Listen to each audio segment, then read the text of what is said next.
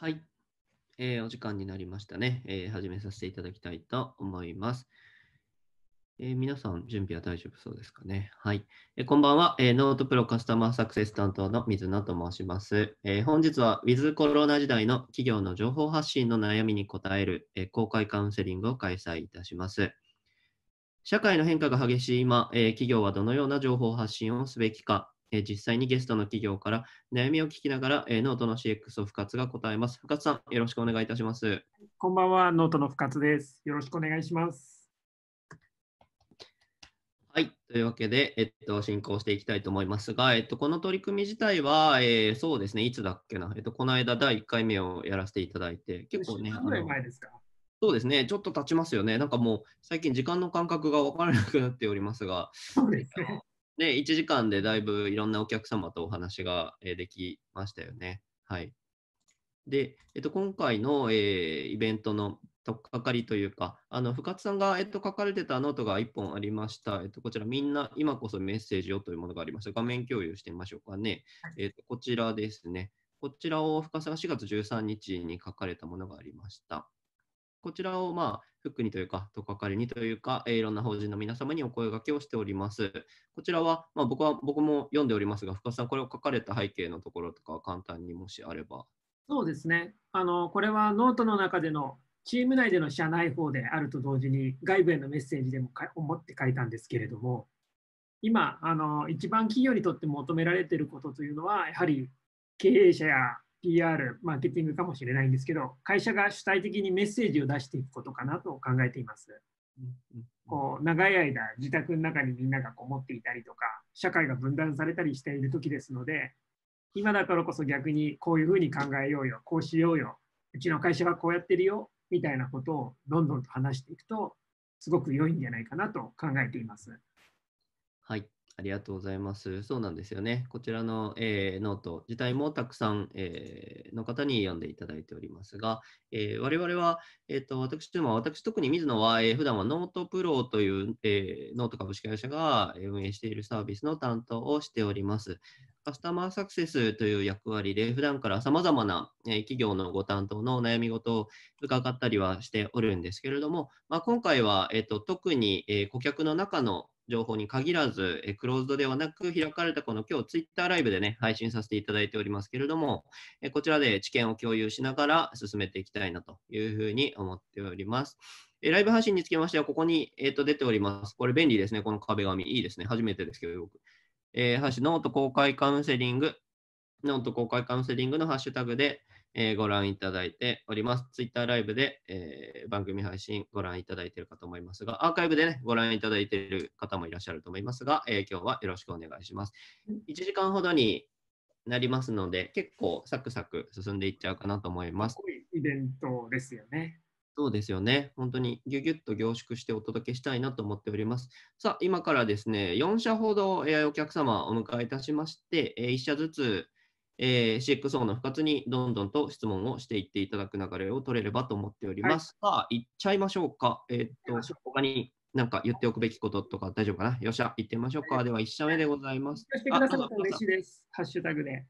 あそうですね。はい。ハッシュタグで感想などなどつぶやいていただけましたら、ぜひうちのスタッフも控えておりますので、もちろん目を通させていただきますので、ぜひぜひこのハッシュタグをつけてご意見、ご感想をお寄せいただけますと幸いです。よろしくお願いいたします。はい。励みになります。結構ね、社内の Slack でも貼ったりして嬉しいねなんて言い合ったりしてますからね、ぜひ、えーお寄せいただけたらと思います。はい。さて、えー今日ですが、えーまずは1社目、実はこの控えていただいておるんですけれども、さあ、1社目お呼びいたしましょうか。はい、最初ですが、えー青山ブックセンター様になります。ノート始めていただいておりますね。ABC 山下さん、おつなぎいただけますでしょうか？はい。あ、こんばんは、山下さん。お願いします。よろしくお願いいたします。ノートの水野でございます。こちらは、えー、6の深津です。よろしくお願いします。ますはい。かわいいロゴになられたのがいつ頃でしたっけね、青山ブックセンターさんは2。月ぐらいですかね。はい。そのはいロゴ変更のくだりなんかもね、えーノート書いていらっしゃいましたけれども、今日はようこそお越しいただきました。よろしくお願いいたします。よろしくお願いします。はい。山下さんはお住ま、お家からですか？あ家からです。お疲れ様でございます。緊張してますか？そんなにしてないです。ですよね。出番結構いろんなところで出られてるから。はい。青山ブックセンターさんのノートを軽く私の方からご紹介をさせていただいて、えーその後はご質問お願いいたします。では画面を先におつなぎしますが、こちらですね、えーご覧になっていらっしゃる方も多いかもしれませんが、青山ブックセンター本店のアカウントをノートでえー開設いただいております。はい、こちらですね。ロゴが変わりますの、えーノートもすごく好意的に受け止められていらっしゃったかなと思いますし、えーコミュニティ作り、その周辺のお話なんかも、えー積極的に発信をいただいているかなというような印象でございます。はい。とても上手に使ってくださっている方の一つかなと思っておりますが、今日のご質問、えーお寄せいただけますでしょうか？はい。まあ、の、もともと本屋自体が、まあ、なんですか、厳しかった中で、まあ、さらにこのコロナの中で厳しくなった中で、いや、まあ、さすがにもっと、もっと支援してとか、なんかもっと買ってっていうのがなかなか難しいなと思いつつ、どう発信していったらいいかなと。まあ、とはいえ、やっぱ売り上げは立てていかなきゃいけないので、そこをどうしたもんかなと悩んでおります。なるほど。青山ブックセンターさんの場合は、じゃあ、まずはメッセージというのは、社内や同業他社というよりは、お客さんへのメッセージが最初に来るわけですか？そうですね、まあ、営業は多分続いていくと思うので、まずは外からっていうところもありますね。なるほど。もう一つ質問なんですけれども、はいえーと具体的にはその購入をしてほしいというのは、リアル店舗に来訪して購入をしてほしいというストーリーになるんでしょうか？いや、それは多分今、促せないなと思ってるので、まあ、もちろん今後、イベントとか、ちょっと前売り券みたいな形は出そうかなとは思ってるんですけど、まあ、そこも、まあ、ただ、まあ、近隣であれば、まあ、お店開いてますよっていうのもあるので、ちょっと単純化はできないんですけど、なるほど、なるほど。EC 的なことはまだ？あ、EC も始始めました。はい。で買ってくださいでもいいんですか？そうですね、はい。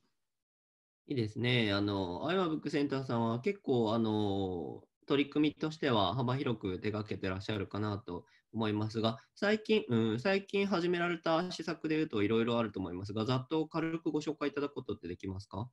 一番直近の、まあ、オンラインストアは始めたのと、オンラインストア、はい。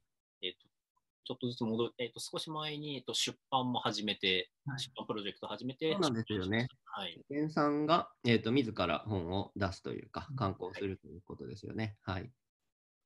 あとはロゴを変更して、まあそうですね。なんか、だん2月、3月、4月と今やってる感じですね。そうですね。一つ一つ丁寧にニュース作られながらやってらっしゃるなという印象です。ありがとうございます。そうですね。そしたらやっぱり大きなストーリーを最初に描けるといいので、そのメインストーリーがコロナ困ってるから買ってください。でもまあいいんですけど、それよりももう少しポジティブなものとか、大きなストーリーにできるといいかなというふうにはうん思うので、やっぱりその今みたいにこうなんて言うんでしょう自宅にみんなが待機してなきゃいけない時期学習しなあのがなんでしょうね学習勉強学校が閉じちゃってる時期みたいな時なのでだからこそむしろ逆に今こそ古典文学ちゃんと読む教養の時間にしようよとかインプットの時間にしようよとかうん今のうちにこういう本読んでおくとコロナのが終わった外に出た後とか社会で役に立つよみたいなうんそういうようなポジティブなストーリーをちゃんと見せていけるといいですし、そのための本やイベントを紹介できるといいかもしれませんね。そうですよね。そうポジティブに持っていく、そう、今ずっと考えてはいるところですね。うん、うん、うん。直近だとそういうようなことで、あのそういうようなストーリーで本をまとめて紹介していったりというのは結構取り組まれてるんですか？あそうですね、まあ、自分たちがっていうわけではなかったんですけど、あのードミニク・チェンさんとタクラムの渡辺さんにこう本屋を回っていただきながらこう本を紹介するっていう。で紹介した本をそのままセット販売でオンラインでやってるっていうのを始めてます、なるほどです。はい。ねえちなみにあのこの後山下さんがノート上であのこのようなコンテンツを出していこうかなみたいな予定なんかはあってありますでしょうか？そのストーリーと別にまあオンラインストアもあの特典つけてもらったりだとか、うんうん。まあ、オリジナルのセットとかがあるので、うんまあ、その良さをもうちょっと細かく解説みたいなのもできたらなとは思ってます。人はご紹介しましょうかね、画面こちら。えー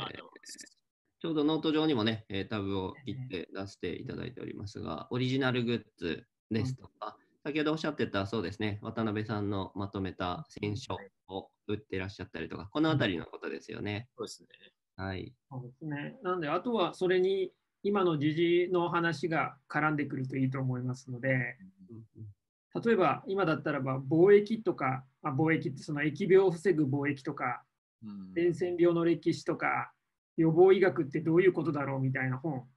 いっぱいあるし、疑似医学とかフェイクもいっぱいある中で、どれ読んだらいいんだろうみたいなことは、できれば青山ブックセンターさんに教えてもらいたいですし、あの料理のお店お店や飲食経営者の方々からすれば、今、キャッシュフローとかビジネスの回しとか、こういう衝撃に備えるとき、どういうようなことをすればいいんだろうみたいな、ファイナンス的な本は何を読めばいいとか、そういうことを教えてほしいとか、みんな今こそ知りたい知識っていうのがいっぱいあると思うので、その知りたい知識にまつわるものを文脈に乗せて紹介をしていったりすると喜ばれるかなというふうには考えています。ちょちょっとだけずれるんですけど、オンラインストアは数でしは増やしていった方がいいと思いますか？そのまあもちろん文脈に載せるっていうのは大前提として、うん、まあ、多分全タイトルっていうのは多分難しいと思う。タイトルはさすがに難しいと思います。なので、ちょっと今、そこも若干迷ってて、ある程度絞ってこう注力していった方がいいのか、まあ、それともある程度の規模までは持っていった方がいいのかなっていうのは。そうですね、そういう意味だと、本屋さんの根源的なバリューとしてはいろんな情報があるというところではあるので、まあ、ある程度多い方がいいんじゃないかな、あるいは今日の一冊みたいのがデイリーで更新されるぐらいはあってもいいのかなとは。なるほど。いいですね。はい。ちなみに ABC さんはあのいろいろまあ、企画自体から取り組まれていて、情報発信までワンストップでね、やられているイメージがありますけれども、はい、あのノート始めていただいたのは、えっと、いつ頃だったかな、まあ、去年の秋、冬ぐらいだったかなと記憶がありますが、はい、えー、なぜノートを選んでいただいたかのくだりをあのお教えいただくことはできますでしょうか？まあ、あの個人的にもずっと読んでたところもあって、ありがとうございます。書籍との相性がいいなっていうのはずっと思ってたので、なんかそこで本屋ならではのことを、まあ、ちょっとまだできてはいないんですけど、なんかできたらなと思ってノートを選びました。ありがとうございます。実際使ってみてどうですか？使い心地というか、まあ、ツールとしてのというあたりですが。書きやすいですし、なんかすごいなんか書こうって気に本当になりますよね。なんか他、なかなか難しいなと他のフォーマットで思った時もあったんですけど、うん、あのノート使ってるとやりやすいなっていうのは思ってます。ありがとうございます。何かこうツールというか、まあ、サービスに関してのご要望などありましたら、ぜひこの場でお寄せいただけたら嬉しいなと思いますが。あの、ショップのリンクしたところって、うん、ショップのリンク、ああのページ？で、うん、1ページだけなんですかねあれのいい質問する。あの、剛速球ありがとうございます。あの、きちんと受け止めますのでね。はい。そこの具体的なお話、後でちゃんとご回答しようかな。はい、そうですね。ストア機能をあのいち早くお使いいただいてね、やっていらっしゃるページですが、こちらの、まあ、UI というか見た目もこう手を入れていきたいみたいなご要望ですよね。はい、こちらでも多くお寄せいただいていることの一つですので、またあの、このハッシュタグのツイッター上でこんな機能だよっていうのは、ちょっとこの辺は補足でまた流させていただきますけど、また具体的にご要望を受け付ける時間作って、えー、お話できればと思っております。ぜひ。まあ、うん、あのやっぱりメディアとしては更新頻度が高いといいと思いますので、距離が近ければ近いほどいいので、割と引いたところからドライな情報を出していくよりは、もう店員さんとか顔出しバンバンしちゃったりしてもいいので、いいですね。今日は関東まるで私の好きな本を出しますとか、今日お店でこんなことありましたみたいなことも含めて、比較的主観情報で距離の近い情報を回転度を上げながら、さっきのようなストーリーと組み合わせていくと、ABC さんの場合強いかなと。ありがとうございます。引き続き楽しみにしております。結構ちょうどいいお時間でした。えー、しょっぱなからでしたが、ありがとうございました。すごくいい話でした。また引き続きよろしくお願いいたします。では、ABC 山下さんでした。ありがとうございました。はい。このオンラインスタイルの拍手のくだり、どうしたらいいかまだ分かりませんが、はい。山下さん、オフ、ありがとうございました。拍手ボタンとか作りましょう。効果音。確かに。そうですね。こうパチパチ感が分かるようなやつ、欲しいですよね。深さん、こんな感じで進めていきますが、良さそうでしょうか？大丈夫です。はい、行きましょう。さあ、えー、ありがとうございました。青山ブックセンターの山下さんでした。さあ、続きましてのお客様ですが、株式会社ロケッツさんから2名ほどいらしていただいております。はい、お二方、えー、J さん、大沢さん、えー、おつなぎいただけますでしょうか？こんばんは。こんばんは。こんばんは。はい、お名前と役割など簡単に、えー、お一人ずつお願いいたします。はい、じゃあ、えっと、私からですね、えっと、ロケット CEO、CPO の、えー、と大沢と申します。よろしくお願いします。よろしくお願いします。と、はい、ロケッツ CSO の鈴木、えー、あだ名が J です。よろしくお願いします。ジェイさんよろしくお願いいたします。お願いしじゃあ、ます。大沢さんからロケットさんがどういう会社か、軽くご紹介いただけますでしょうか。了解しました。と思った資料をですね、資料をお持ちしているので、ちょっとあの見せお見せしながら進めさせていただきたいと思います。はい、用意周到、バッチリですね。あトントントンといきましょうか。ありがとうございます。バありがとうございますッチリですね、準備。はい、えっ、と、株式会社ロケッツと申します。でですね、まあ、サクッとなので、あの、まあ、ミッションの部分をご説明させていただくと、まあ、えっ、と、新しい営業戦略を生み出すプラットフォームを作るということをミッションにしておりまして、えっ、と、まあ、リード獲得営業に特化したプラットフォームを、えっ、と、開発運営しているという会社になっています。はい。で、えっと、やってるサービスがですね、えっと、まきびしというサービスでして、えっと、主に B2B 向けの、えっと、新規リード獲得、弊社ではですね、あの、プレリードと言ってるんですけども、をサポートしています。はいまあ、具体的にはですね、あの、クライアント様と寄り添って戦略をサポートしたりですとか、あとは、えっと、まあ、戦略に合ったリスト作成ですとか、あとですね、えっと、フォームのマーケティングを実施しているというような、えっと、サービスになっていますバッチリです。はい。うん、で、えっと、ここから先はですね、ノートの運用っていうのを、あの、社内で実は作ったものがありますので、ざっとご説明すると、これは今日の番組っぽいですね。ありがとうございます。ざっとで失礼しますが、よろしくお願いいたします。はい。あお願いします。で、そもそもですね、あの、まさに水野さんにお伝えいただいた内容でですね、あの、実施の目的ということで、1番と2番ですね、あのノートで誰に何を伝えたいかというのと、その結果どうなっていたいかというのを考える必要がありますという話をいただいたので、はい。で、ロケッツとしては、えっ、と、誰に何を伝えたいかというところで、えっ、と、ロケッツ知らない人への PR ですとか、まあ、転職予備軍の方への PR、あとは、えっ、と、営業に結構強いかあ強い会社ですので、営業ノウハウを提供といったところをやっていきたいと思っていました。で、はい。その結果どうなっていきたいかっていうのは、まあ、おそれぞれ KPI を設定していまして、ただ、この中で一点大きく注意しているのは、まあ、一番下のもそうなんですけども、あの、プロダクトを使ってもらうっていうことをアピールする場ではないよということを注意しながら書きましょうということを、えっ、と、みんなで共有しながらやあっていました素。晴らしいですね。うんうんで、えっと、それぞれまあ具体的にこんなことをやあのやりましょうというのを、えっと書いたのがこちらの図でして、まあ、PR 系はですね、あのまあ、どういった会社かっていうのを、もうちょっと細分化して、社内活動ですとか、組織ですとか、セールス、プロダクトといったところを、えっと公開していきたいと。でそれぞれをですね、まあ、あの絶えず動きを見せていくということで、まあ、毎週何らかしら更新をしていこうというのを、えーと考えながらやってました。はい。ありがとうございます。こういうことをね、立ち上げにあたってすり合わせた上で始められたという感じですよね。で、営業は営業ノウハウを公開してますというん、いいですよね。で、コンテンツもさまざまな、えーコーナーに分かれてというか、えー作られマガジンにね、分けて実際運用されてますもんね。はい、まさにそうそうですね。はい。ありがとうございます。資料がいいですね。有意義な情報をガンガン出されてるイメージですね。うん。ありがとうございます。じゃあ、ここで、はい、止めたいと思います。今、パッと聞いた運用ルールちょっと見たいけど、後でまた。えっと、資料この後、それか、はいこのハッシュタグでなんかキャプチャーとか送ってくれたらすごい嬉しいです。あ、はい、わかりました。さあ、ありがとうございます。ます。はい。今日はですね、えー途中からご覧になった方もいらっしゃるかもしれません。今日はノート公開カウンセリングということで、法人でノートを作る皆様のお悩みを弊社の CX を復活と一緒にお答えをしていくという配信をさせていただいております。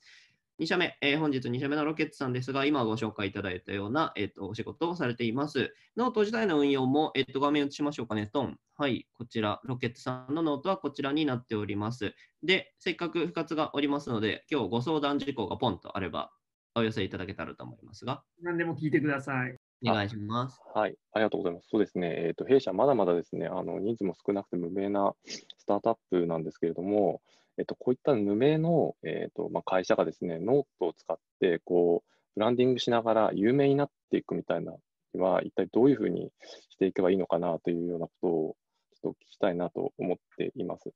ストレート。ノートプロのユーザー様ですと、あの、ブランディングがかなりできている方々が多いのかなと思ってあ見受けられますので、弊社はそこに対して、こう、が、に対してどういうふうに進めていけばいいのかなと思っている次第でございます。はいよくわかりました。これ、まずは認知されたいこととして、同業他社というんですかね、マーケティングのサービス業界で認知をされたいのか、それとも、まあ、将来の潜在顧客になるようなマーケターさんたちに認知されたいのか、どのような方に認知されたいところですか、まずは。うん、そうですね。いどちらかというと、企業様というより、あ、まあ、ひまあ、そうですね、マーケターの方とかかね。もそうですし、あと、まあ、会社を知ってもらって、転職を考えている方へのアピールというのもありますので、まあ、ちょっとその二軸ですかね。うんなるほど。できればメッセージは1個の軸に揃える方がいいとは思いますので、なるほど。まあ、そはいの2つがくっつくストーリーをまず考えるというのが1つ目。なるほど。でもう1つは、やはりそうすると、まだブランディング認知を取り終わってないということは、ロケッツさんがロケッツさんであるから来るっていうユーザーさんよりも、ロケッツさんを知らないで来るユーザーさんをどうやって取り込んでいくかという話ですと思いますので、やっぱり一番大事なことは、ロケッツさんがロケッツさんであること以外のバリューをどんどん記事に合わせて入れていって、それを育てることで最終的にロケッツさんのバリューを出していくことだと思います。なるほど。なので、まあ、大きくは今やられてる路線でいいとは思うんですけれども、世の中、社会、業界、特にお欲しいお客さん、ターゲットユーザー像の人たちが必要としている情報、知りたいこと、どうしたらいいかわからないことをどんどんと解決してあげるというのが一番重要なことかなと思います。うん、大沢さんいかがですか？なるほど。確かに、そのうん観点ではそうですね、あんまり考えてみなかったので、ですよね。なんか整理する軸というか、を改めてという感じもありましたよね。J さんはいかがですか？今のお話聞いてあ。そうですね、ありがとうございます。えっと、まあ、やっぱりこう法人向けかつ、えっと、セールステックみたいなところなので、割とこうじゃあ、えっと、皆さんが注目する記事っていうと、こう数字がベースだったり、まあ、ノウハウ集だったりっていうのがあるので、まあ、そこをどうやってこう僕らのこう価値観としてはこうマイルドというか、えーそういう表現をしていきたいなっていうところにちょっとこう、なんていうんですかね、えっと、悩みを感じていて、まあ、そのなんか数字ばっかりのこうノウハウ集でいいのかなみたいなところはちょっとお聞きしたいなと思います。そうですね、まだ数字の話だけだと割とドライな話になるので、数字の話よりは主観的な話と混ぜていった方が良いかとは思います。ありがとうございます。顧客の、なんでしょうね、ターゲット層の数字が、ユーザー数が何パーセントっていう話も、まあ、もちろんあっていいんですけれども、それよりも、ユーザーの〇〇さんはこういうことやって、こういうふうになって、こんなことがあったけど、こう解決しましたみたいなナラティブの話の方が良いですし、もう一つは単なるあの他のサイトや他の本でも手に入る情報よりは、ここならでは、ここ一時情報ならではのものってなると、やっぱりあの N N1 っていうんですかね、サンプル1の主観情報とデータを組み合わせる方が、データ単体より絶対価値が出ますし、なるほど。あともう一つは、データも出すんでしたらば、あの世に流通してないデータの方がうん。需要があるかと思いますので、う合わせてやることとしては、そのデータとしてこの世には存在してるんだけれども、誰もデータセットとしてまとめてないとか整理してないみたいな情報をロケッツさんが整理してくれましたみたいなのもバリューがあるかなとは。なるほど。うん、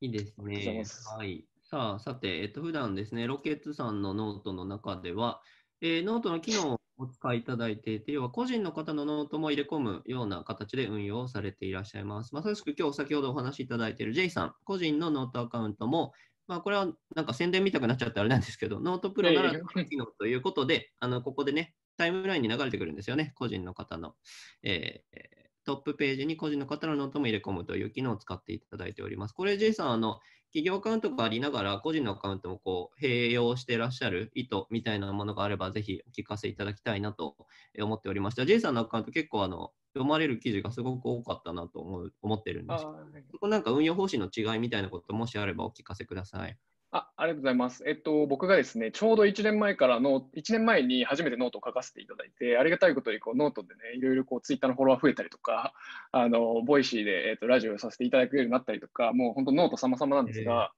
えっとまあ、そもそもこう僕の音声配信自体があの弊社のプロダクトにつながっている、まあ、概念だったりとかにする、えーリンクしているので、えっとまあ、コンテンツとしては僕が普段からやっていることが会社のコンテンツになればいいなと思ってやってますと。でどちらかというと、会社のノートが後発なので、まあ、そのままあの最初からゼロからコンテンツを始めるより、まあ、僕が貯めていたコンテンツが、まあえー、と訪れた時に見れるみたいなのがあったらいいなっていう形でやらせていただいているって感じですね。ありがとうございます。深さん、やっぱりこうやってあの社員の方、それぞれ個人の発信も含めて運用されていくパターンっていうのが増えてきてるなっていう感触が僕としてはあのあるんですけれども、やっぱり有効だなという感じですかね、こういうアプローチは。個人としては内部の人の顔が見えれば見えるほど、サービスとしては今は特にやりやすいかなとは思います。多分、一人が見えないコミュニケーションっていうのは逆に大企業、CM バンバン使えるプレイヤーたちの方が絶対に強いので、うん逆に彼らがそれほど顔を出して人を出していけない分だけこういうスタートアップこそが顔の見える営業顔の見える情報発信をするというのは一個の逆差別化としてありかなとは思います、なるほど。ありがとうございます。ありがとうございます。続けていきます。あいいですね。なんか、エール、エールっぽかったですね、今。よかったですよね。はい。ロケッツさん、他ご質問、ご相談、あの素朴な疑問でも構いませんが、もう1点、2点ありましたらお聞きしますが、いかがですか？大丈夫そうですか？とでは1個だけ、あのはいノノートプロさんって、あまあ、これ、深津さんがいる場で聞く話でもないのかもしれないんですけど、あのノートプロさんってなんかあのグッズみたいなものを作られたりはしないんでしょうか？ノートプログッズですか？欲しいやつですか、じゃなくて、欲しいやつ？えっとステッカーとかですかね。みたいなやつですかね。あ、そうですね。はい。そう僕の心は。うん。その頃は、えっと、僕もうん、J もですね、あのパソコンに結構ステッカーたくさん貼ってるんであ、それ、ユーザーだぞっていうのをちょっとアピールしていきたいな、みたいな。ね、だから、ステッカーとか実はあの会社に置いてある用としてはあるんですけど、すっかりお渡しする機会がないんですよね、こうなってくるとね。そうなんです。プロステッカーはないですけど。そうですね、ノートプロステッカーちょっと検討したいですね。はいあ。作作ったら貼ってくれますか？もちろんです。なんだろう、このやりとり。すいません、でも、はい、嬉しいです。あとあれですよね、水野さん、多分ノート全体としては、スタートアップの中では比較的ノベルティ少なめというか、そっか、そうかも。うん物理マーケティング、グッズ制作のにあんまり手を出さないっていう今まで来ちゃってますね。確かにデザインチームは、デザインチームはそのサービスの改善にがっつり入っていただいてたりもして、でもあのね、時にイベントごとの時にはシュッとバッジなんかを作ってくれたりっていうのはあったんですが、本格的な、えーグッズ制作っていうのも確かに、あの見てみたい感じはありますよね。うん、多分ノートのストアとかがもう少し本格的になったら、僕らも自分で物売らなきゃ分かんないよねってことで、うんノートグッズストア作っていくことにはなると思うんですけど、もうちょい先かなとは。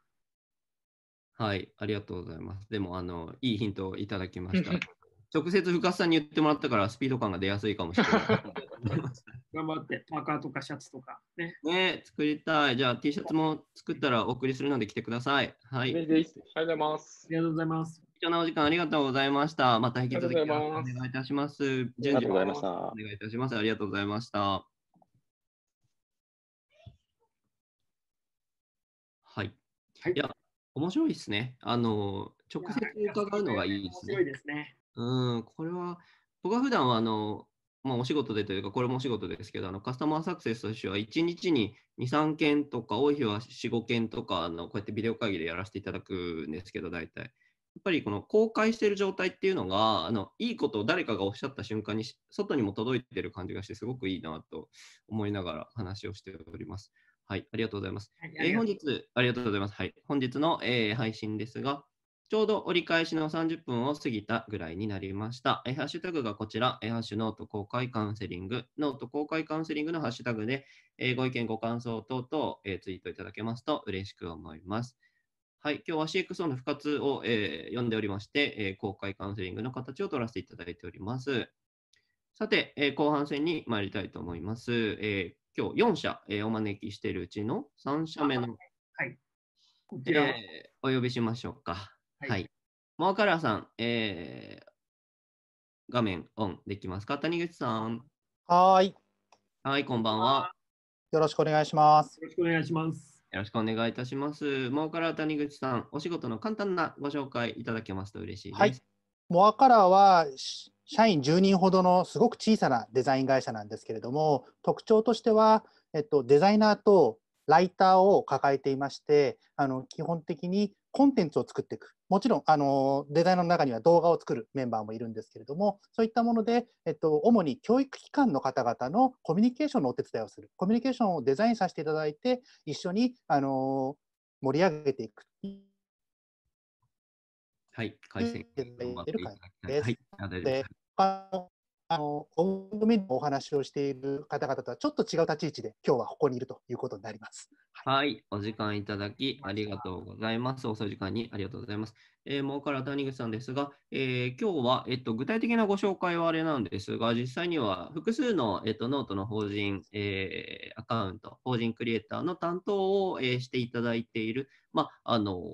外部編集長というか、まあ、言い方はまた 適当というかね、我々からするとそう見えるみたいなことで申し上げますが、パートナーとして、えー何社かに関わっていただいているという立ち位置になりますかね。これはあれですか、その企業さんがノート、うちもやりたいけど、自分で書く気力や体力がないみたいな時に、モアカラさんを頼むと、割とさらっとなんとか素敵な感じにしてくれるっていう。そうなれるといいと思うんですけれども、えっと、今のところはあのどちらかというと、懇意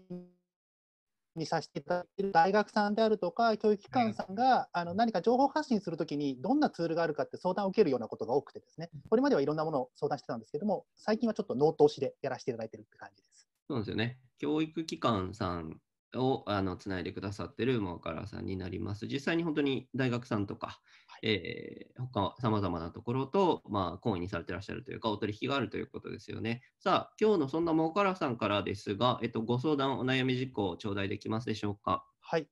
えっと、ちょっとノートを運用していくときのっていうよりは、ちょっと手前のところなんですけれども、私はノートがすごく教育機関が情報を発信していくのに非常に親和性が高いと考えているんですね。あの大学って中に非常に多くの知識とかコンテンツを溜め込んでいて、それをあの外になかなか発信しきれていないっていうのは自分たちでも分かはい。それをどうにかしたいってらっしゃるんですね。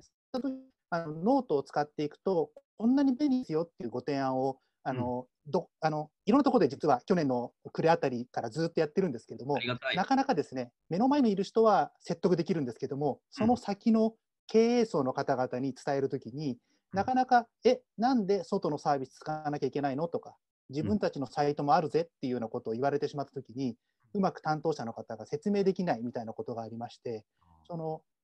なんとか説得しましょうよっていう時にですね、うんどんな殺し文句があるでしょうみたいなところが、あの深津さんにご相談できたらなと思ったことなんです。はい。えっと、いただいた件、ちょっと音声途切れ途切れだったので、軽くうん、でも大丈夫ですよ。あの私たちには聞こえておりました。サマリーで、えーこれを聞いていただいている方にも申し上げますと、まあ、普段からいろいろなお取引先というとあれですね、パートナーの企業さんがありまして、でそちらの中に直接のご担当にはもう谷口さん自らばっちりプレゼンはできるんだけれども、えー熱くプレゼンしていただいているんだけれども、その先に行った時の話ですよね。要は、あの分かりやすくノートってどういうものなんとか、あのそういうことも含めてきちんと伝えていくにはどうしたらいいかっていうあたりですかね。この辺って結構よくって、あの我々も、えーノートで法人で始めてくださるのすごくあのありがたいなって思ってるんですが、その社内で、えーその価値というか、担当の方がすごくノート大好きであの押してくださるとかもすごいありがたいんですけども、まあ、社内でどういうものなんだって説明したりですとか、価値はどういうところにあるんだっていうのを伝えるときに分かりやすいまあ、指標というか、なんか伝え方があればみたいなあたりですかね。すいません、ちょっと曲解しちゃったかもしれないけど、こんなあたりですかね。バッチリです。ありがとうございます。じゃあ、このあたりでございますが、深津さん。はい。はい、多分2つあると思ってて、1つはあのマーケティングツールの中でどういう位置づけかというお話と、もう1つはあの既存のブログ、自社のワードプレス、オンドメディア的なものとどういうふうにポジショニングが違うかということの2つのご説明が必要という理解でよろしそうでしょうか？はい。えーとですね、じゃあまず1つ目、既存の広告ツールとの違いということなんですけれども、すごくシンプルに言ってしまえば、ノートのコミュニケーションの特徴は、他の広告媒体に比べて深いというところが一番強いと思います。要はテレビ CM であるとか、あのウェブのサービスに貼られるアドというのは、ターゲット層としては10万人、20万人、あるいは数千万人にリーチしますけれども、コミュニケーションというのが、その動画、CM だったらば15秒ですし、アドバナーだったらば0.5秒とか、そういうコミュニケーション単位ですよね、時間として。なので、伝えられることがすごい制限されてしまうので、多分その短い時間で、ふわっとしたそのブランドに対する一番大事なことを一言で言うみたいな話か、安いよ、買ってみたいなぐらいのコミュニケーションの深さになりがちなんですけれども、やはりノートの最大の特徴はテキストメディアとして自社が情報を発信することですので、そのより深いコミュニケーションの密度情報、私たちがどういう思いでもこれを作ったのかとか、うんどういうふうに使いこなしていけばいいのかとか、そういったようなものを深く出せるということと、あとはその外部に出してお金を払うペイドのメディアではなく、自前のメディアですので、発信の頻度を割とコントロールしやすいということですね。毎日ノートを書くみたいなことも、極論自前運用でできるわけですので。はいなので、ある程度濃いコミュニケーションを何度も何度も繰り返したいという人たちのためのメディアになってくると思います。なので、いわゆる、なんでしょうね、マーケティングでいうと、このアンバサダー層、アーリーアダプター層、ロイヤルカスタマー層と呼ばれるような方々に対して強いメッセージを発するという意味では、CM などよりも強いコミュニケーションができるかなと考えています。いや、面白い。谷口さん、いかがですか？いやーこういう説明が僕もしたいです。よかった。アーカイブしてあるからね、これね。までた。もう一つ、はいはいい今今までのがいわゆる CM とかとの位置づけですね。なので、一番強い使い方は、ノートにこ強いコミュニケーション、長いコミュニケーションを置いて、でそれを、えー、と御社が使われて、御社というか、クライアントの皆さんが使われている SNS やテレビやうんうん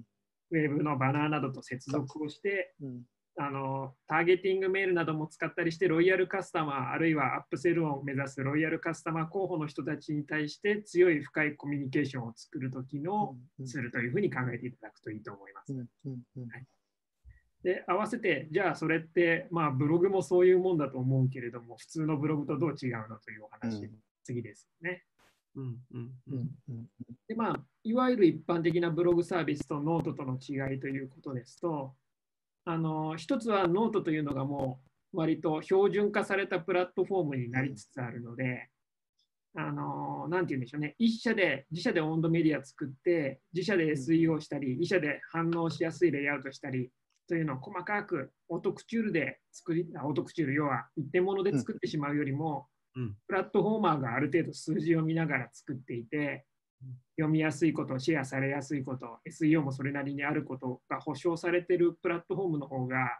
まあ、自社開発となんか数万人、数千万人のお客さん相手に開発をしているサービスだと、PDCA のそかいあのしょなんでしょうね、プロダクトのうん。更新速度、アップデート速度を含め、いろいろなもののコスト対効果が非常に良くなってくるので、基本的にはプラットフォーム的なもので使ってしまう方が、自社で作るものよりもバズりやすいであるとか、離脱率が低いといったことが期待できるかなと考えています。でもう一つの特徴、多はい。分マーケティング的にはより面白い特徴だとは思うんですけれども、スタンドアローンのブログメディアではなくて、ノートはそのプラットフォームとしてつながっているということですので、他の企業さん、他のユーザーさんとも緩くつながっている反 SN 的な、反 SNS 的な属性があるというところが多分一番今までのブログと違うところですので、企業同士でコラボをして、お互いのユーザー層が取り合わないユーザー層同士でしたらば、どんどんコラボをして相互送客し合うであるとか、うん。ユーザーさんを巻き込んで、ユーザーさんと一緒にコンテンツを作る、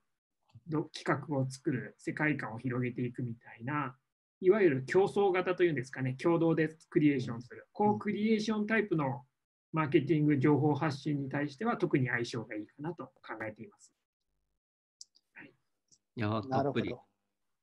いやーありがとうございます。あのー本当に、あのーすごく腑に落ちました。特に後半のブログツールとの違いっていうのが、ちょっとうまく説明できなかったところがあったんですけれども、うんいわゆる日本のブログって言われてるものが、やっぱり日記でしかなかったものが、やはり本当のブログになったというか、つながるようになっている。そうですね。あ。のそのつながりって部分がやっと日本に来たのかな、それがノートだったのかなっていうふうに今、はたと気がつきましたので。そうですね、ノートは特に自分たちでもタグラインとして作る、つなげる、届けるというのを挙げているように、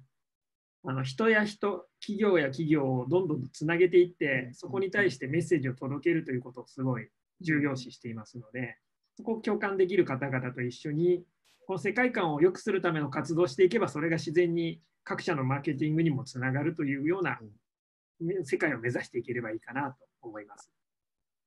あと何でしょうね、他にノー。トをマーケティングするときにおすすめのこととしては、例えば現在の環境下みたいな状況ですと、今後数ヶ月から1、2年、場合によっては1、2年ぐらい、ちょっと今コロナで世間が大変なことになっていますので、あのすごいストレートに言ってしまえば、広告業界全体でマーケティングコストが圧縮されていくという流れになってくると思います。マーケティングコストが圧縮されていくということは、やはりテレビ CM のようなマス CM が打てなくなるということが一つあるのと、けどやはりそれだけれども、あのロイヤルカスタマー層はしっかりグリップしなければいけないというような条件になってきますので、費用対効果、投下コストを考えると、運用コストがかかるとしても、あの深いユーザーとしっかりグリップをしながうんらうん、重要な情報を出していって、そこの中のお客さんをしっかり大事にするというのが今は大事で、逆に無理やりマスマーケティングで新規顧客を取りすぎるというのは一旦ストップする方がマーケティング戦略としては良いのかなというふうには、個人的にはお勧めとして考えております。ありがとうございます。はい、いいですね。今日はもう、僕はもう途中で割って入るまいと思っても、ありがとうございます。ぐはいしっかり聞けたので、だいぶお仕事っぽいお話になっちゃいました。いいやいやや、これお仕事なんで、ありがとうございます。本当に大学さんがやはりメインのお客様なんですけれども、大学さんは今までやっぱり、あの、ちょっと外とコミュニケーション取ってこなかったってところがずっと続いてたと思うんですね。あのこの10年ぐらいで変わってはきてるものの、やはりあのうちにこもってという部分がやはり強かったので、あのそのコミュニケーションする、外に一歩出るっていうことが、うん。あの非常に重要だってことにあの気づいていただけている中で、何をしたらいいかわからない、その時に一つノートが使えるといいなっていうのは。そうで。すね。例えばはい。大学さんだったらはい。今僕とかが欲しいのはうん、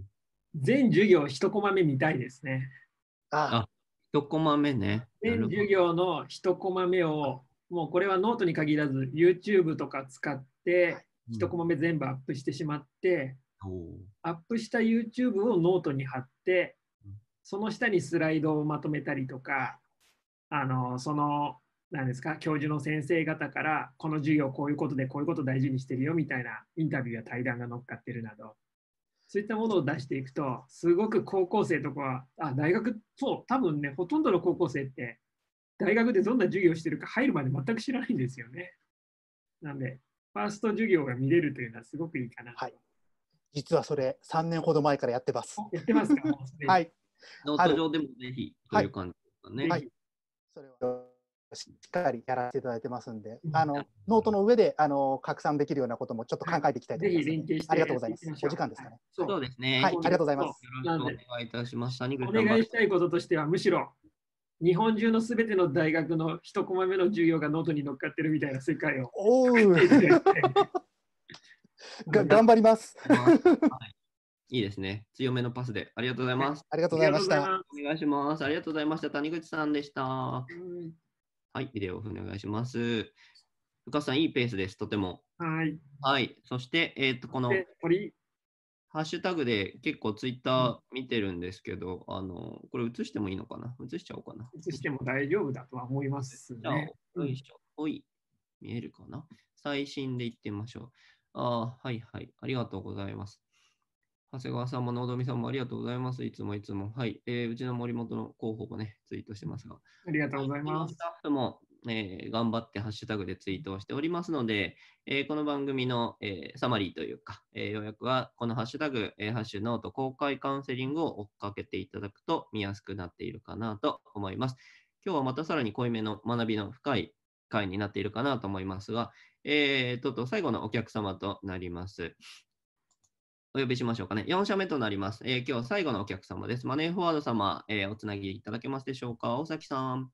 はい、聞こえますか？はい、聞こえます。よろしくお願いします。よろしくお願いします。お願いいたします。はい、マネーフォワード大崎さんが今日の最後のお客様です。気合いの入った T シャツですね。あ、ありがとうございます。フィンテック T シャツです。はい、これが画面の向こうで受けているといいなという。そうですね。さあ、えっ、と、大崎さん、マネーフォワードさんは、実は、あの、まあ、皆様、会社名ご存知だと思いますが、結構いろいろとアカウントも複数ノート上でお持ちいただいてきております。はい。で、大崎さん、簡単に自分のお仕事のご紹介、軽くお願いできますか？はい。えっ、と、私、あの、マネーフォワードという会社の中で、えっ、と、人事なんですけれども、いわゆる採用広報として、まあ、会社の様子であったりっていうところを発信するっていうのを、まあ、仕事にしています。まあ、なので、実際こういったノートの中で記事を書いたりですとか、あと、えー社員の方に記事を書いてもらったり、あとはその、たくさんいろんなところで発信するメンバーがありがたいことにいるので、そこを束ねていくっていうところも、まあ、一つ最近は仕事として増えてるっていう感じです。はい。ありがとうございます。今、画面に映し出しておりますが、えーマネーフォワード公式ノートということで運用いただいております。マネフォさんはもう本当に社員さんいっぱいノートアカウント持っててね、あの、マガジンの使い方なんかもすごく、えっと、上手にやっていただいてますよね。あありがとうございます。はい。プロダクトベースで言うと、マネーフォワードクラウドさんの方でも、えっと、 note pro をお使いいただいてますよね。はい。はい。というわけで、今日は、えっと、主にまあ人事方面で、えマネーフォワードさん全体のまあ広報というか人事というか、HR 方面でご活躍の大崎さんですが、今日はそのノートの使い方ということで、ご質問をいくつかお寄せいただけましたら嬉しく思いますが、いかがでしょうか？何でもございます。はい、ありがとうございます。一応2つありまして、はいあの今回のその今回ノートで、えっと、発信をするって決めた理由としては、まあ、いろんなその個人アカウントがある種マネーフォワードの分身としてこう発信していって何かこうマネーフォワードの魅力であったりとかする会社の雰囲気が伝わればいいなと思っているんですけども、まあ、その中でまず一つが公式アカウントと個人アカウントその発信のその線引きどっちにするかっていうのは結構相談が来ていまして、なんかそこの線引きってこうどういうふうな考え方がいいのかなっていうのを、まあ、一つお伺いした。そうですね。この場合は、マネーフォワードさんが情報を出す、かつ社員の皆さんもいろいろ書いてくださっているということです、ね。そうですね、はい。うんえーとそういうような情報でしたら、基本的にはあの一歩引いた中立的な情報を公式で出しつつ、社員さんには逆に主観的な情報をどんどん出していってもらう。あなるほど。あ N1 でこん実,、はい実在のサンプルのあの実際に起きたこととか、エピソードとか、自分の体験みたいな N1 の話はどんどんと社員の皆さんに出してもらって、はい。で逆にあの福利厚生のなんちゃらのリストを作りましたとか、そういった一歩引いた中立的な情報は公式のもので出す。であとは公式のものでエピソードや N1 の情報を出すとしたらば、経営者、か経営者の皆さん、あるいは社長の皆方の、社長の方、要は辻さんですね。はい。辻さん自らの生の声みたいなものを出していかれるといいかもしれません。確かに。特にその自分が、まあ、人事であるからこそ自分の内容を個人の内容で発信するか、結構公式の内容で発信するか、特にそこがいつも迷うところではあったので、なんかそういうそのなんか客客観的な主観を入れるか入れないかっていうのは、なんか一つ確かに基準でもあるなっていうのは思いました。そうですねなので、そのヨガ教室、先ほど記事のところにちょっと伝えてましたけど、ヨガ教室のファシリティとかの話とかは比較的公式で出しちゃっていいと思うんですけど、ヨガでなんちゃらさんが来て今日すごい楽しかったみたいな話ははい。どんどん個人の方で出しちゃっていいと思います。わかりました。ありがとうございます。うん。なんかそのつついでにの質問なんですけど、はい。もう一個、その、まあ、 note pro だとそのメニュータブをカスタマイズできると思っていて、まさにその、このノートを情報のプラットフォームとしていくときに、なんかどんなあのメニュータブを足そうかなっていうのが今まさに検討しているところなんですね。で、今はまだ、えっと、何も足していない状態なんですけども、うん。まあ、あの、一応お手本としてノート社さんをうん。お手本にはしているもののうん、何かグループ会社とかのアカウントがあるっていう結構特殊な状況の中で、こう、なんかこう、マネフォらしいメニュータブって何かいいものがないかなっていうのが今ちょっと悩んでいるところです。はい、えー今のお話ですが、えーと、ご覧いただいている方にもね、分かりやすいかなと思いますので、映し出してみましょうか。今おっしゃっていただいたのが、ここ、えー画面見えますかね、ホーム、マガジンからこのずらずらずらっと横に並んでいるメニュータブの部分。えっと、こちら当社、ノート株式会社も公式サイトは note pro で作らせていただいておるんですけれども、 note pro をお使いいただくと、ここのメ、今日ダメだな、宣伝っぽくなっちゃうな、ごめんなさい。ここの横並びのメニューが、まあ、カスタムできるっていうのが、まあ、機能の一つなものですからね。えーここを画面切り替わったかな？このマネーフォワードさんのアカウントでも、えーどう使いこなしていくかというところですね。まだあのさら地というか、まだ入れてない状態なんですよね。はいまあ、作られているコンテンツ次第かなとも思いますが、そのナビゲーション周りについて何か、えっと、考えておいた方がいいことというあたりですかね。こちですかね。らはナビゲーション周りは大目的としてあの HR 採用のためのナビゲーションと考えていいんですか？それとも他のものも含めてのナビゲーションと考えるべきでしょうか？えっと、一応他の目的も含まれていて、もともとそのノートを作っ、まあ、あの力を入れていく理由としては、まあ、マネーフォワードをより知りたいと思った方々が、あのより知れるこうプラットフォームとして、ここが、あのなんですかね、えっと、かかあの価値を発揮できるような場所にしたいなっていうのを思っている感じです。はい。あのそうするとですね、ちょっと CXO としてごめんなさいをしなければいけないことが一つありまして、はい。はい。ノートの公式の、ノートの方、はい。ノート社の方の公式のメニューなんですけど、これはちょっと多すぎます。これよりも少なくしましょうというのがあります。今ツイートしてる広報の人がビクってしてるやつですね。はい。えっとはいはい、ごめんなさい。えっと気持ちはわかるけれども、はいあのですね、なんで、まず最初は4つか5つぐらいにとどめてもいいのかなというふうには思いまあこの横のとこね。はい。確かにモリモリではございますね。はい。あのマネーフォワードさん、まあ、ちょっとノートは例外的に多くてもいい、ノート社は別に例外的に多くてもいいかなとは思うんですけど、はいあ、はい。まずは始めたばっかりのお客さんというか、あの発信者さんでしたらばあの、ある程度厳選して4つか5つで十分いいかなと思います。なるほど。で、そのタブの内容も、はい。いわゆる、あのーなんて言うんでしょうね、ロイヤルカスタマー層、高エンゲージメント層みたいな、ある程度マネーフォワードさんに好きな方、興味のある方、うんもうすでに半分採用応募してみようかなって考えてる方みたいな方に向けた強くて濃いボタンが2つ3つはい。あるみたいな語りがおすすめかなと思います。結構そのこのメニュー多分まああのそれこそノート社さんの見てめちゃくちゃいっぱい入れたくなる気持ちをこうどどうしようかなっていうところを思っていたのでだからある種そういうよい4つ5つぐらいで制限があるってなると絞っちゃった方がいいですね。用途として、あのね、ノートとは多分ね、ノート社とは用途が違う感じなんですよ。うんうんうん。ノート社の場合、あのノートがそのまま会社のホームページになってるんです、ねホームページなので、まあ、ホームページに載せなきゃなんない情報がいろいろあるので、タブとして多くなっていくんですけれども、マネーフォワードさんの場合、マネーフォワードさんご自分のホームページ別にちゃんとお持ちじゃないですか。はいね。なので、いろんな情報というのは一旦マネーフォワードさんのホームページが担当すればよいと思いますので、どちらかというとマネーフォワードさんのノートにあるのは、マネーフォワードさんのノートを読んだ方が次にしたくなること、知りたくなることのためのボタンに特化する。うん。ああなるほど確かになんか一応今聞いてもともとこのタブのアイデアとして、うんあの考えているリストを見ると、まあ、例えば採用ページであったりとか、まあ、そういうのも多いです。はいで逆にここにそういう資本とか地図みたいなものはなくて大丈夫。はい。でさっきのごめんなさいなんですけど、ノート社が多いのは、会社としてのホームページとしてノートを運用しているので、ああそういういろんなものを入れなきゃなんないので、ノートのメニューが多くなっていくので、ホームページとして使っている分には多くなって全然いいんですけれども、はい会社のメディアとして特化して使われてるんだったら絞っちゃって大丈夫かな。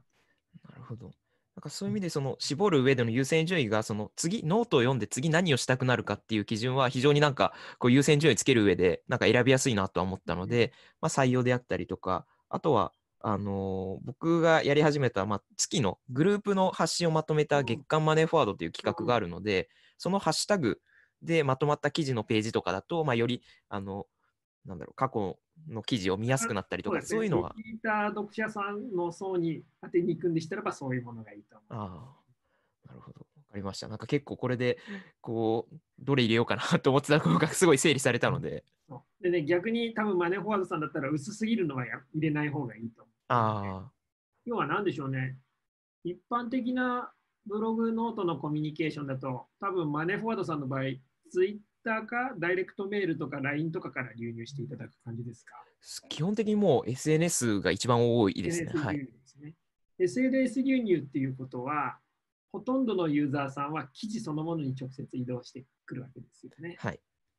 なので、あの軽いライトなユーザーさんは記事を見た、記事を読み終わった段階でもう SNS に帰っちゃう。そうですね。はい。うんで、逆にそこで、SN、あのマネーフォワードさんのアカウントボタンを押してり、ホームボタンを押してトップに移動してるってことは、もっと全然ロイヤルなユーザーがほぼ確定してるわけです。ああ、なるほど。あるいはもう、マネーフォワードさん好きなユーザはい。ー。なので、その人たちに向けた濃いものを並べてあげた方がいいし、わざわざ来ててくれた人に対してすごい薄いなんか会社概要みたいなの当ててしまうと、ちょっともったいなくなってしまうので、はい。もう思いっきり濃くやるのがいいと思います。わかりました。めちゃく例えばちゃ、多分今だったらトップホームあったら、例えばマネーフォワードの哲学、マネーフォワードで働くみたいなああ確かにもう多分これ、そのまま入るかもしれません。このメニュータブが。よかったですね。超具体的な。でプライバシーポリ、マネーフォワードのプライバシーポリシーとか乗っけちゃうと、ちょっとここに置くもんじゃないかもみたいな。ああ、なるほど。わかりました。ありがとうございま基準が見えた感じがしますよね。す。そうですね。かなり見えました。うん、すごくよかった。究極的には採用に応募するみたいなものを置いてあってもいいぐらいです。うんうんうんうんうん。ありがとうございます。はい、大崎さん、いい質問でしたね。あ、いえ、ありがとうございます。こちらこそ。イメージつきそうでしょうか？はい。めちゃくちゃイメージつきました。ありがとうございますあ。りがとうございます。そして時間尺的にもバッチリでした。はい、ありなるほどがとうございます。はい。えーノートプロのメニューの使い方の周りは、えーぜひぜひ引き続きご検討いただけましたら、またね、あのご相談乗らせていただきますので、ぜひぜひお声掛けください。大崎さん、ありがとうございました。ありがとうございました。た。はい。というわけで、20時57分でございます。いや、深田さん、すごいです。タイムキープ、あの、無事着地できましたね。よかったです。はい、すすっといきましたし、結構話題もあの多岐にわたっていたかなとも、えー思いますし、えー割と皆様にこう役に立つようなことから、うん考え方の部分からあの提供できた情報があったんじゃないかなと思います。岡さん、いかがでしょうか？結構本当にいろんな会社様にノートを始めていただいておりますけれども、うん皆さんバラバラです。目的がそれぞれですよそうですね。お客さんによって、さっきのメニューの話みたいに、うんノート社のメニューとマネーフォワードさんのメニューだと最適解が違うみたいなことも多分どんどん起きてくると思うので、そうですね。本当、うちの会社の場合どうなんですかみたいのは、こういうイベントの場でガンガン聞いてくださると、一般論じゃなくて、会社ごとのオーダーメイドした答えが出せるんで、いや、本当そうですね。確かに。私も本当に勉強になりました。はい。良い機会をありがとうございます。さて、えー今日の今日の番組1時間お届けしてまいりましたけれども、ノート公開カウンセリングということでやらせていただいております。えっと、普段は、あの、こうしたまあ、個別のね、クローズドのカウンセリングは、 note proをお申し込みいただいた顧客の皆様とやらせていただいておるんですが、今日は公開という形でやらせていただきました。えーご意見、ご感想をお寄せいただきましたら、次回開催の目安にもさせていただきますし、はいまたやってほしいなどの声がありましたら、深津さんがきっとあの始めていただきやすくなるので、そうですねハッシュタグに皆さんがリクエストしていただければ、また第3回、第4回もきっと。そうですねあのこんな、こんな業種のお客さんが見たいとか、こんな目的で使ってらっしゃる方をぜひとか、そういった声も、えー、Twitter 上で DM でなどなどお寄せいただけましたら嬉しいです。えー最後、宣伝したいな。えっとですね、1個だけ。えっと、ノートは、これからノートを始めていただきたい法人のために、えっと、定期的に勉強会をやらせていただいております。その記事はきっとどこかでこのハッシュタグでツイートをしてくれるはず。画面共有を軽くさせてください。ドン。毎週火曜日の14時から、もちろんこのご時世ですので、オンライン上で note pro勉強会というのを開催させていただいております。えー毎週毎週あの、結構たくさんの会社様に、えお越しいただいてというか、閲覧いただいて、見ていただいて、参加いただいているイベントになります。えこちらの URL は、え今日の、えノート公開カウンセリングのハッシュタグを追っていただきますとアクセスしやすくなるかなと思います。もし法人や、え企業、チーム、法人等々で、えノートプロ使ってみたいなと思う方いらっしゃったら、ぜひお問い合わせをいただけましたら嬉しく思います。まあ、お問い合わせいただいた結果、あの無料版で始めていただくというのもぜひぜひと思いますし、どんなものか知っていただく上で、えー気軽に、えー顔を出していただけましたら嬉しく思います。はい、ということで9時ぴったりとなりました。えー本日は、えーノート公開カウンセリングということで、えー当社 CXO の復活に、えー来てもらって、えー勉強会、えーお届けさせていただきました。深さん、また引き続きよろしくお願いします。はい、よろしくお願いします。あと、水野さん、チャンネル登録のお願いを。お、そうだ。YouTube 録。のね。うんこれは言っとこう。YouTube をで、この番組は、えっと、アーカイブにどんどんしていっていただいております。さあ、こちらをリンクをうまくまた、ツイッター担当の方からね、えー活かしていただけたらと思います。あのノートのイベント公式、はいあノートのイベントインフォ、あるいはノートのプロ公式というアカウントをフォローしておいていただけると、新しい情報をどんどんと送ることができると思います。はい、そうですね。ノートイベントで YouTube 検索いただけますと、えー過去の、えーイベントのアーカイブなどもたっぷりご覧いただくことが、えーできますので、ぜひぜひチャンネル登録の方も、えーよろしければぜひお願いできればと思います。で多分ノートの書き方や運用の仕方困ったら、この YouTube いろいろ見ると、それだけでヒントがいっぱい入ってますので、はい、そうですね。このご時世ですから視聴数もどんどん伸びているようでございました。深津さん、ありがとうございます。そうですね。はい。というわけで、えー、と本日1時間にわたってお送りしてまいりました、ノート公開カウンセリングでした。はい、皆様、えー出演いただいた皆様、ありがとうございました。それでは失礼いたしますありがとうござい。ます。